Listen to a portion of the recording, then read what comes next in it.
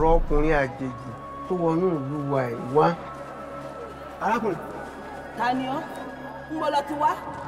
tó pe rẹ̀ ládìkù aníkúlápó. aníkúlápó wọ́n máa dúpẹ́. èwo ni arákùnrin tí wọ́n ń pè ní anikulapo. orúkọ mi kì í ṣe aníkúlápó sáró lórúkọ mi. gbogbo ìgbà tá a bá ti ń wá yín láàfin nínú yàrá ọmọ òun nínú yàrá rẹ̀ la ti ń bá yín.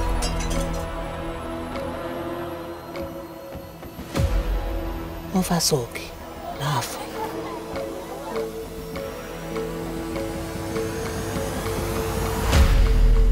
Hi everyone, welcome to yet another time with me. Forgive my appearance, no makeup today, just take me as I am. And I know I just wanted to just get this out of the way because if I do all the things that I usually do before I shoot a video, I may not be able to meet up. Today we'll be reviewing in a 2022 Nigerian movie known as Anikulapo. It is a spanking new movie. I just decided to jump on it so that um, I don't just leave things hanging and then next week I'll review it and then everyone has seen it and then it's boring. Now, Anikulapo was directed by Kunle Afolayan, the one and only Kunle Afolayan, who was the director in Citation, the award-winning movie. Now, Anikulapo has notable actors and actresses like Kunle Remi, Bimbo Ademoye, Akim K. Kazim, uh, Sola Sobowale, Taiwo Hassan, and other actors too numerous to mention. It, it was star-studded, okay? Now, Anikulapo is a Yoruba movie subtitled in English that brings out the rich Yoruba culture. I especially liked you know, I have deep respect for Kunle Afolayan because Kunle Afolayan knows if he wants to give you um, a setting of the 1970s, he's able to pull it off. Or there was this movie that he projected Nigeria in the 1980s. Um, I'm going to put the name on the screen. He was able to pull that off effortlessly.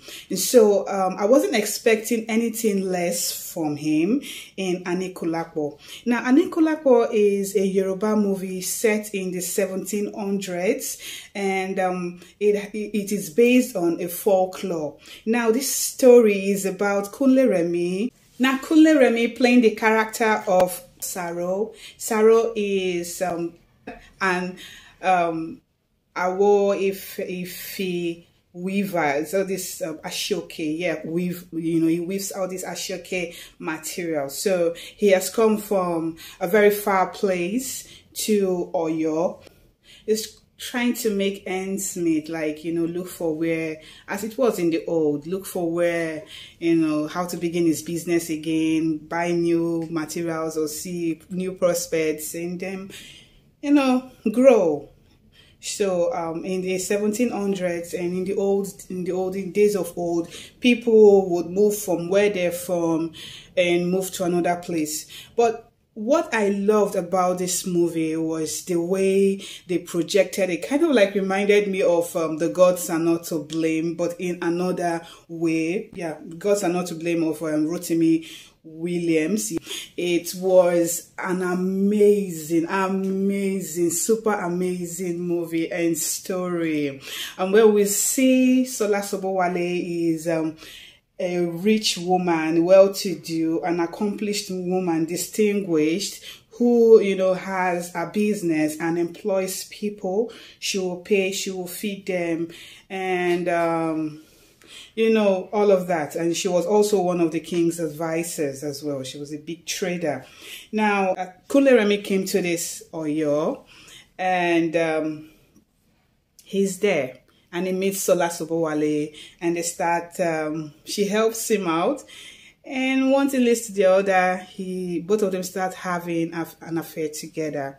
Now, Kunle Remi feels territorial when he sees um, Sola Sobowale having same thing with Kunle Afolayan.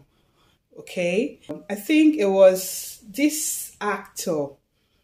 He's not necessarily an actor. He's um, is a comedian.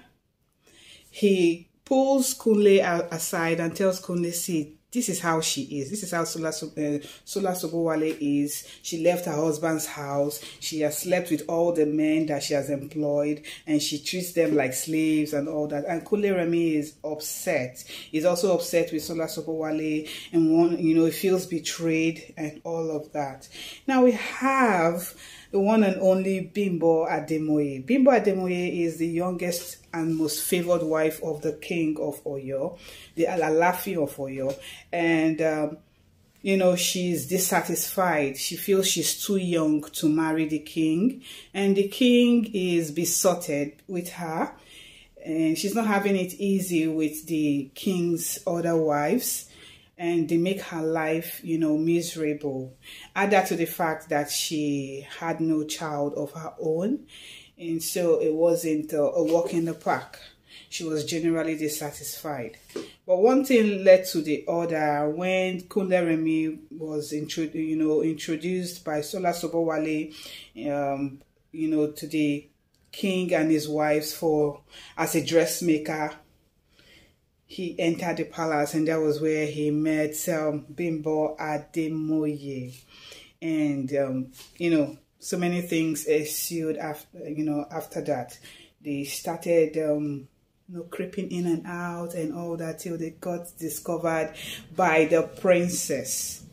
Now, everything that happened in that movie was painstakingly done was painstakingly carried out. Uh, there was this scene in the in the forest where they where Kunle Remi and Bimbo Ademoye always meet for their little one-on-one um, before they graduated to Kunle's house. Now, there was this smoke. They tried to do this smoke thing, and I didn't understand why that smoke thing was there it would have been honestly perfect if they did not add that smoke thing that you usually see when a place is dark in the forest and some, you know, in some movies they try to, you know, blow the one kind of smoke or something. It didn't really make sense to me. That's like an aside, okay? This is like me trying to be, okay, I'm just being picky. But other than that, it was perfect. I loved the use of the cal- of the cowries when, um, you know, they were they were buying things in the market. It was amazing. The use of of cowries made it, you know, it buttressed everything that I was expecting in a movie that is set around um, the 1700s. We move forward to when Kunle and uh, Bimbo Ademoye, you know, when they were discovered and um, how Kunle was beaten to death, you know, before the horrified eyes of Bimbo Ademoye and how they struggled through. I loved the, although the, the effects of the, I think is the, I don't think it's the Ifa, Ifa bird. No, it's another bird. You know, when it came to take the soul or, I don't know, of, of Kunle Remi, the way they did it, they've not perfected the art properly, but you know, it's several steps away from what we're used to in Nollywood. So I would applaud them in that. Now, moving forward, I loved the planes, you know, the, you know, rocket planes of, um, I don't know where they used, maybe all those rocky plains at Ekiti and all that. But, you know, it was wonderful. The settings, the locations that were used were amazing. They went down, you know. Ah, Kunle Remi was amazingly excellent in this movie, this Anikulapo. This Anikulapo, you know, must be an award-winning movie because it was perfect I don't have anything to say. You've been hearing the things that I've been saying are, you know, problems. They're not necessarily problems because Kunle Afolayan did his homework. He did his homework and he brought out the best in the various actors and actresses. I loved the presence of Hakeem K. I think that's his name. He was a different feel, you know. I wasn't expecting to see him. I'm always seeing him in international movies. So to see him in this Nollywood movie was ah amazing and he kept it up throughout that he was playing the king the role of a king that does not talk. So when Kunle Remi and Bimbo Ademoye braved it all, they suffered, moved through seven rivers and seven oceans. You know how they say all those things that they see in the olden days, and they moved to this new place. One would expect that, you know, and also what Bimbo Ademoye expected, that they would live happily ever after but it wasn't that way because Kunle Remi as a man was a vain man, was a very, very vain man who would always forget his humble beginnings, who would always forget. I moved, you know, I moved with the emotions of Bimbo Ademoye. For me, she even managed, she, she tried to, you know, have stayed with him for so many years while he misbehaved you know, you will see the, the, the downfall of Kunle Remi was women. And he was so slow. He thought he had everything. And at the end of the day, he, he had a chance. He died the first time. He, get, he, got, he got a second chance. A second chance with a lot of splendor. And then he misbehaved again. And then he died again. And so how was he going to get saved? And Anikulapo is a movie that everyone, irrespective of their understanding, can watch, understanding in the sense of understanding of culture, can see and be satisfied. Anikulapo projected that Yoruba culture, Yoruba artistry, Yoruba, um, you know, projection of their of the adages that they use, the idioms, the proverbs, you know, it was painful, it was it was wonderful. And then the you know, adding of the tradition, the use of people that would understand the tradition to, you know, be able to bring it out was something that was amazing. And you would see that a lot of research a lot of practice, a lot of work was put into this movie that made it such a brilliant movie. Uh, in terms of in terms of um, cinematography, everything was perfect. You will see even the scenes that were shot at night were amazing. You would not really strain your eyes to see what was going on, even in the dead of the night. You would know, you would see. It was that brilliant. You know, the sound was awesome. The the effects in the movie were great. I won't say they were 100%, but they were great, okay? And the story, the plot, like what I said in um, a few of my reviews, for Nigerian movies, I don't really, I don't really look at the plot. I just say, okay, let me see the input of each and every um, actor and actress. I would, which that's how I review most of the movies, most of um, Nollywood movies that I bring up here. But with Anikulapo, the story was tight. The plot, yeah, was tight, you know. And then the actors and actresses aside, when you're grading the movie, the plot, you're grading the actors and the actresses, the directing, the the, the produce the, the producing, the production, the script writing, everything was in sync in this movie. And I will be rating this movie a 10 over 10.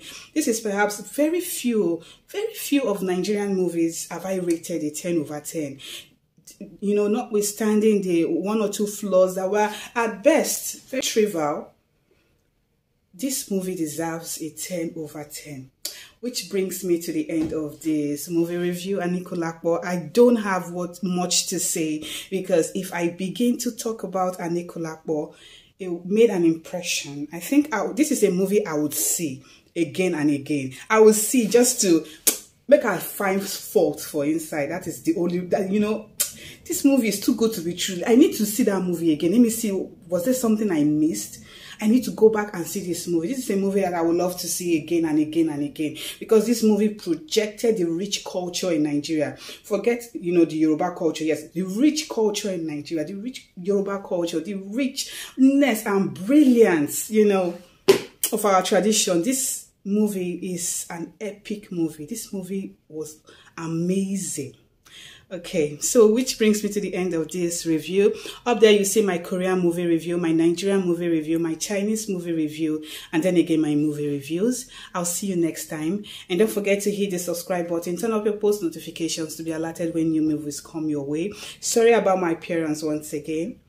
Let's just, let's just, let's just, let's just forget that one. Okay? Bye.